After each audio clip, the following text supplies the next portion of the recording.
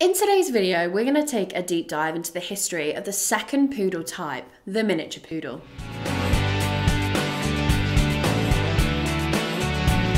Welcome back to the Fenrir Poodle Show. If this is your first time here, my name's Charlie and I'm a certified canine leader here at FenrirCanineLeaders.com.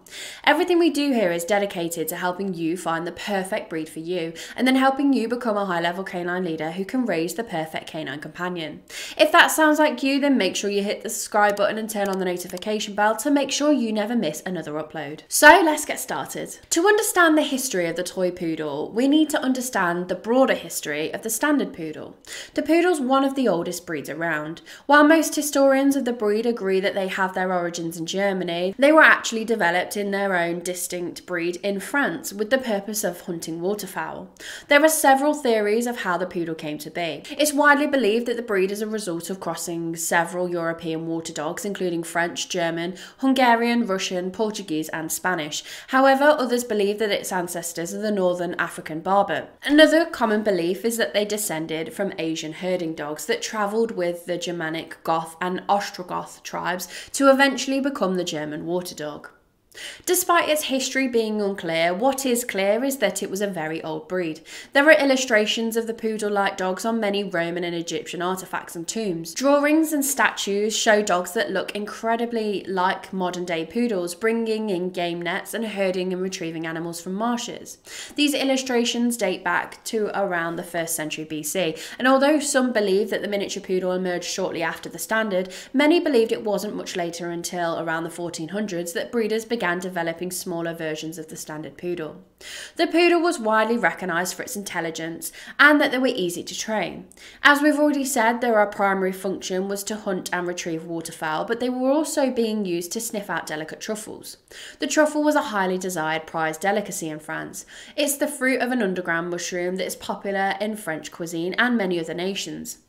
The poodle was great at sniffing these out. However, the problem hunters had was with the standard poodle was that it was too big and would regularly crush these delicate tender mushrooms, leaving them useless. They needed a smaller dog that could hunt yet preserve the prized delicacy they, they were seeking. So the miniature poodle was developed with the intelligence and ability of the standard poodle, but the smaller size to carry out this important job. The miniature poodle was achieved by selective breeding and not by breeding the poodle to other smaller breeds.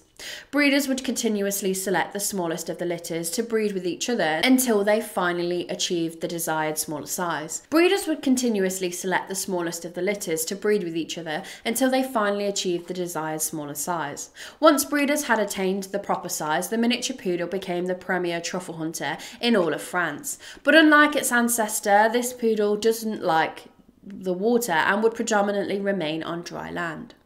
Word of the new miniature poodle soon spread around France, and they became desired amongst many because they had the same strikingly good looks but high intelligence of the standard poodle.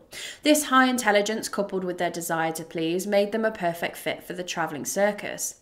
Travelling gypsies heard of this new miniature breed and took them on their travels, and they taught them how to perform, and they became an instant hit with the crowds. They'd perform tricks, dress them in costumes, and even shape and sculpt their coats to fanciful shapes, much to the delight of those in the audience. The circus crowds instantly fell in love with the miniature poodle, and they soon became desired by the Parisian higher classes.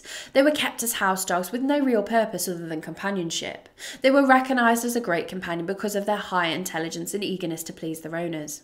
This was the beginning of their journey to becoming the most popular type of poodle amongst all three. The breed became popular in the United States in the 20th century, and they're now the base for nearly all the designer breeds like the Cockapoo and the Labradoodle. The miniature poodle has a rich and long history. Not just a designer breed, they were developed for a specific function and were recognised for their abilities and intelligence to do other tasks. They've captivated the imaginations of people across the world for their looks, intelligence, and companionship. Well, I hope you enjoyed today's video. If so, make sure you hit that like button and get involved down in the comments section below. And don't forget, if you are new here, to make sure you subscribe. We have three dedicated poodle videos coming here every single week. So I can't wait to talk to you again on the next episode of the Fenrir Poodle Show.